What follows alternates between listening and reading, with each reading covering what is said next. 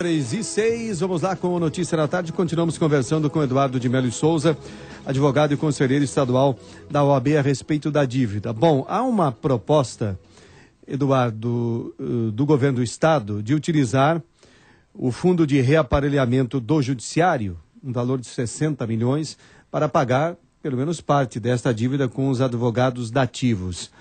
É um caminho, é viável, porque vai depender de uma aprovação, aprovação do pleno do, do TJ, né? É, o, o, Fundo de Reparelhamento Judiciário, ele tem uma, uma função muito específica, conforme o próprio nome indica, que é criar ativos dentro do judiciário, equipar o judiciário.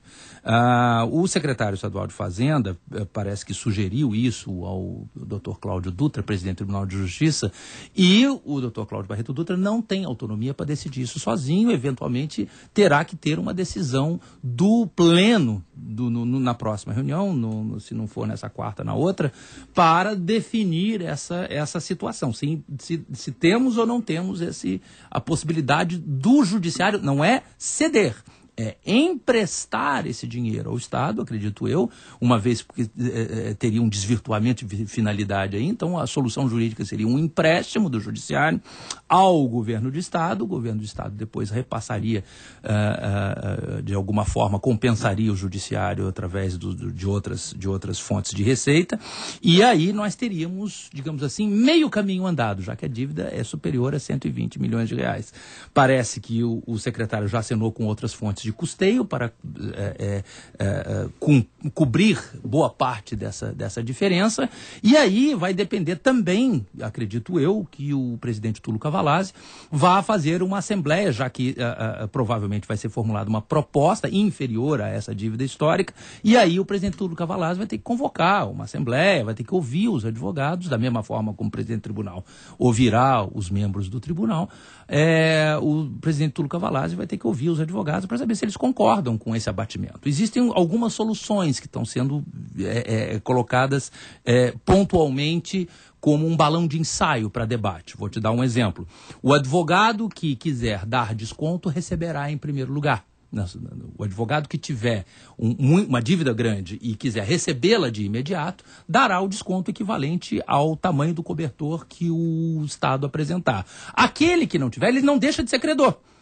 Ele apenas entrará numa fila para receber a integralidade quando e como o Estado providenciar e, e, e o, o, a, o, fundo, a verba para poder fazer frente a essa dívida. Então há, essa, há esses balões de ensaio, está se tratando disso, já está se, se cogitando eventualmente de caso a caso o advogado decidir se dará ou não dará o seu desconto, mas como eu te expliquei, a OAB é uma mera facilitadora, quem decide é o advogado defensor da ativo.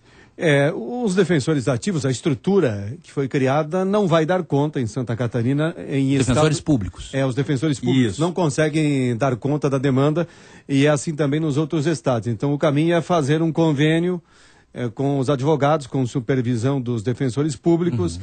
para atender, por exemplo, lá o município de Monte Carlo, Isso. que tu citasse um exemplo. Mas antes disso, tem que resolver a questão da dívida. Sim, porque e isso foi ponto pacífico para a Ordem dos Advogados do Brasil. Uh, os advogados passaram 25 anos carregando o piano.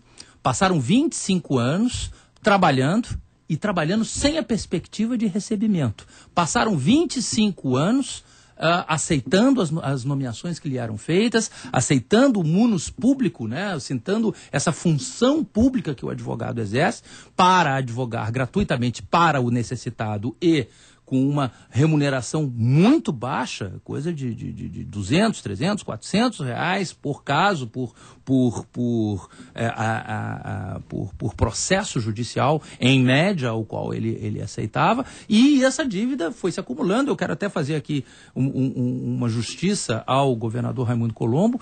É, é, nenhum outro governador pagou tanto para a defensoria quanto o governador Raimundo Colombo. Apenas é que ele assumiu, ele é o último governador eleito, então ele assumiu e herdou um passivo realmente que vai se tornando é, muito difícil de ser gerenciado. Eduardo de Melo e Souza, conselheiro da OAB, muito obrigado pela participação. Eu que agradeço.